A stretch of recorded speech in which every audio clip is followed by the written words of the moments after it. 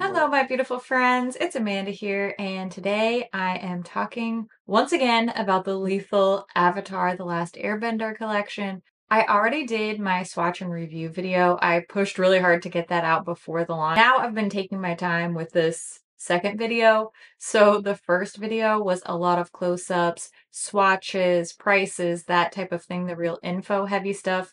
And today I'm going to show you a couple of looks so you can see a few of these products in action. And I'm also going to show you a whole bunch of palette comparisons. My very stained swatch arm and I have been working hard on a whole lot of palette comparisons.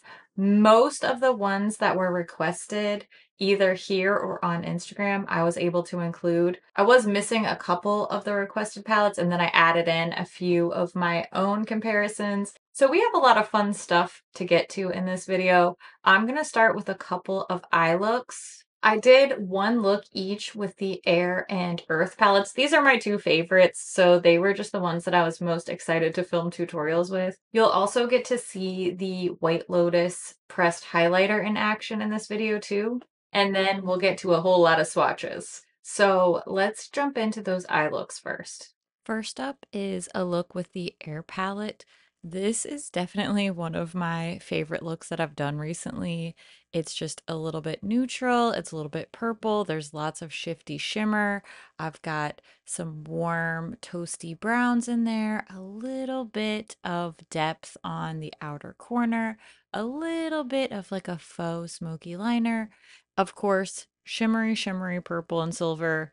These are a bunch of my favorite things. So I just used this shade Sky Bison first all in the crease area and I blended that up and out. This is not a super precise look, which honestly is my preference. I do not thrive on precision eye looks. So I'm just using that same brush and kind of smushing it to be flatter and then smudging that along the lower lash line too. Then I'm using this deeper matte brown shade called Glider and with a smaller little blending brush, I'm putting that on the very outer part of my lid and blending that a little bit into the crease as well, but I'm really concentrating the majority of that depth on the very, very outer part of the eye and the very outer part of the crease. Just going back and forth between my original crease brush and this one that I'm using to actually apply that darker color. I didn't use any more of that Sky Bison shade. I'm just sort of blending with that brush to get everything nice and smoothed out. Now I'm using this super shimmery purple shade with my fingertip. I'm just applying that all over the rest of my lid with a little patting motion. This shimmery shade has so much impact on its own, but this applied over a black or a white base really lets this duochrome purple shade shine pun fully intended.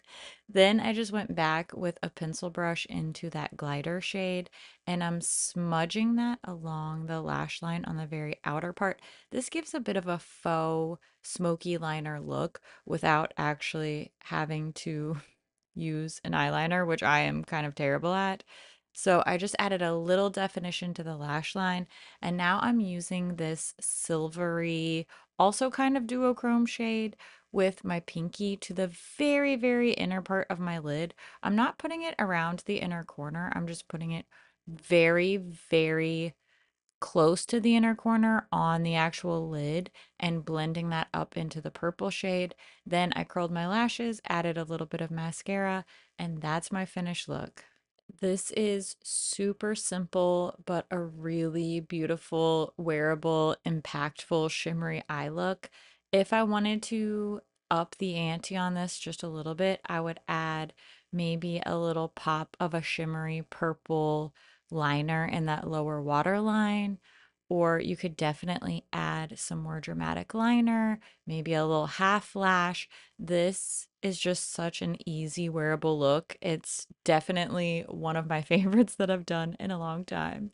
Now we're going to go over to something that's a little bit more expressive, a little bit more colorful using the Earth palette.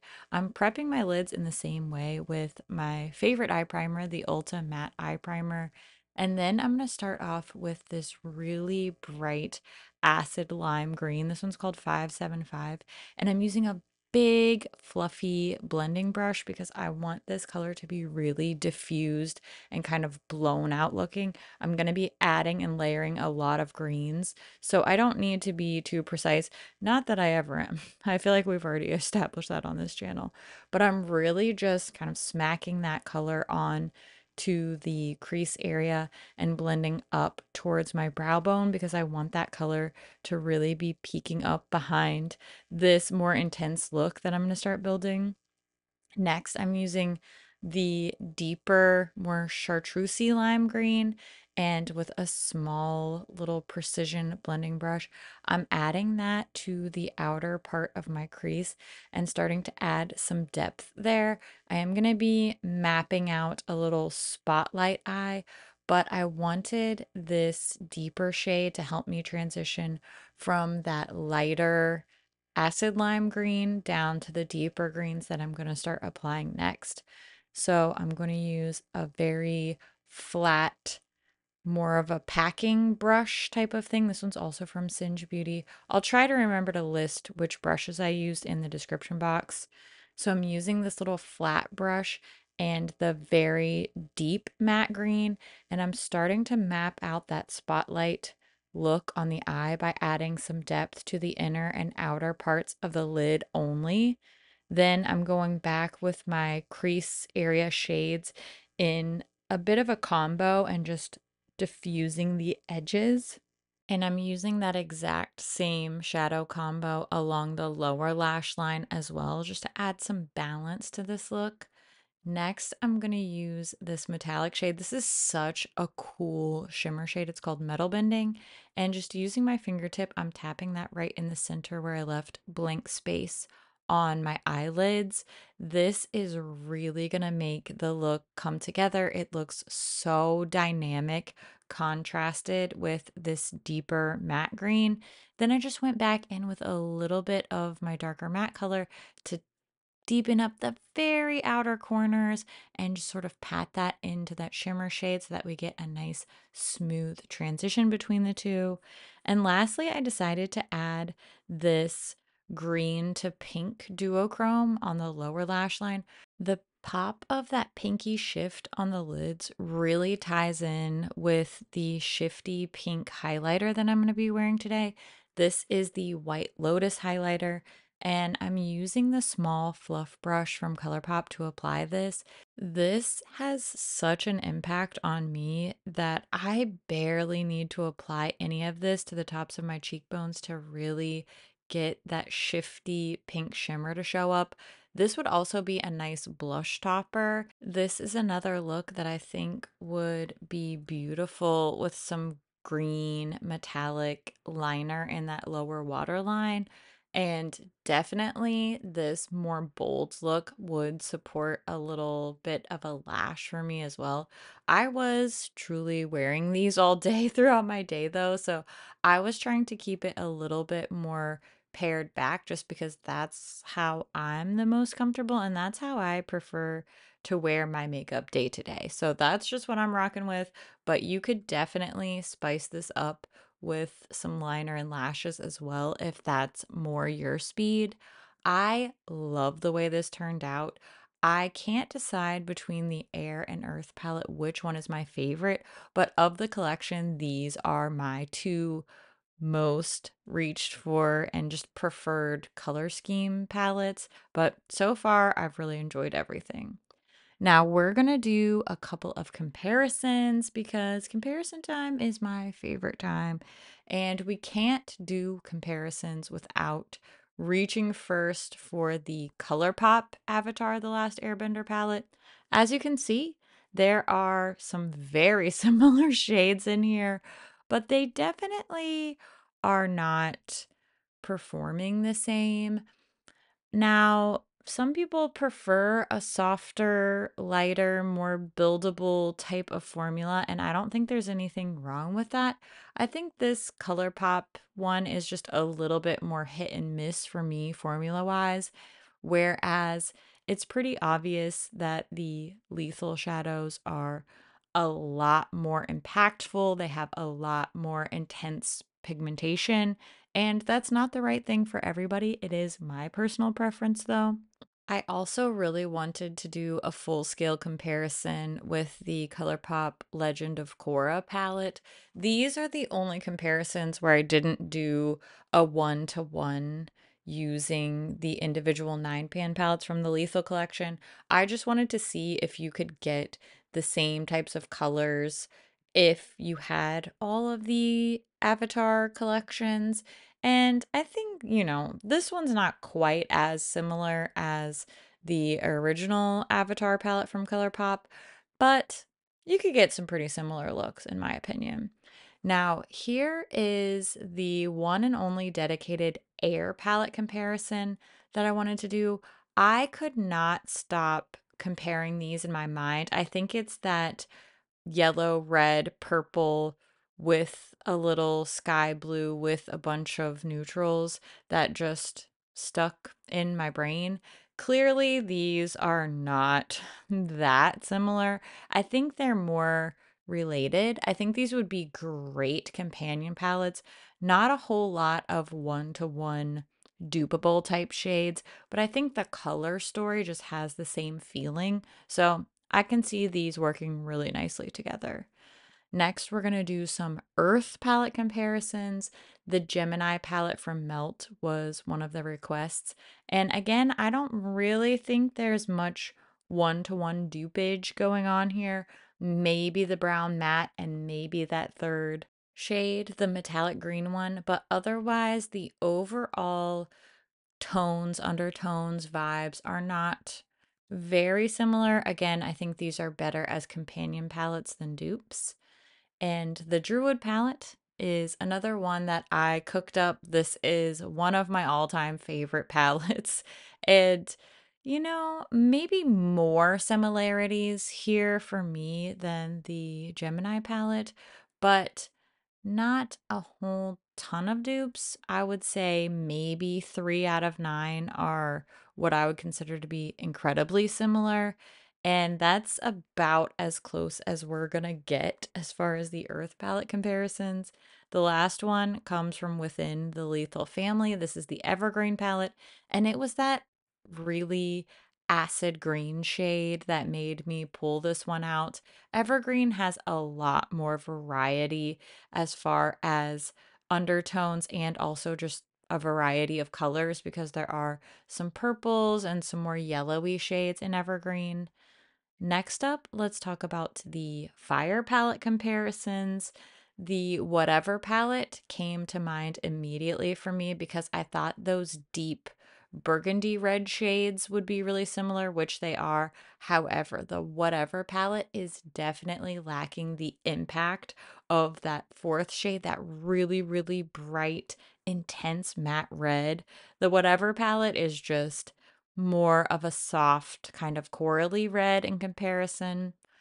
A requested palette, highly requested comparison is the Red Dragon palette. This was a Odin's Eye collaboration from a couple of years ago now.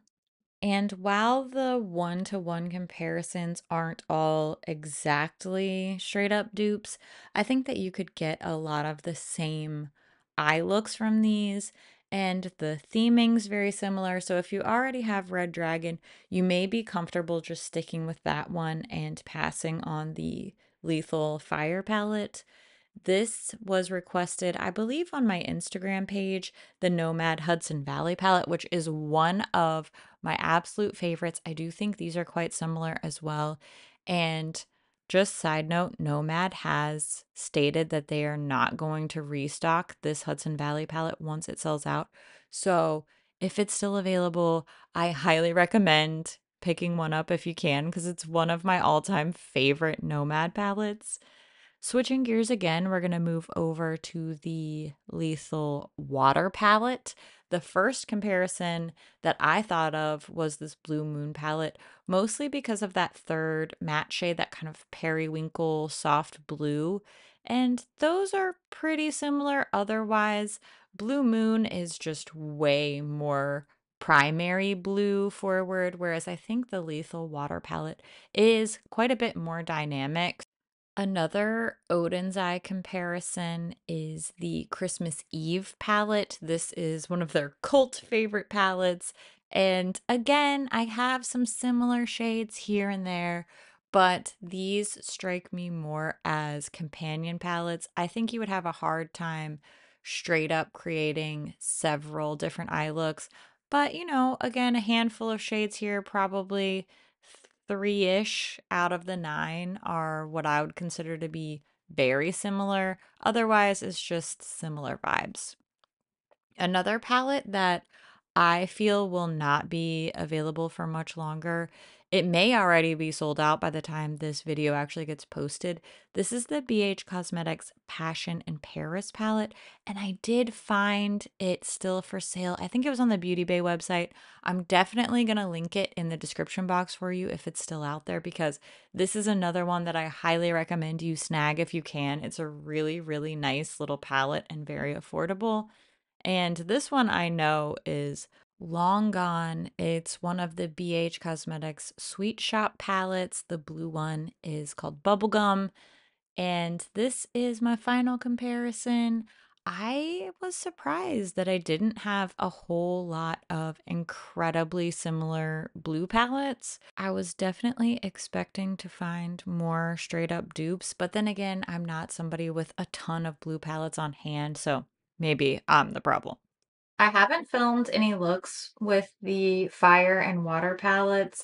I think it might be kind of fun to either combine these into a super contrast look or maybe use the two of these in a palette bingo or something. Just I think that would be really challenging and it could be it could be fun. It could go a little crazy. Could be a good time. Let me know if you'd be interested in seeing more looks with any of these palettes, particularly if you want to see fire and water in action.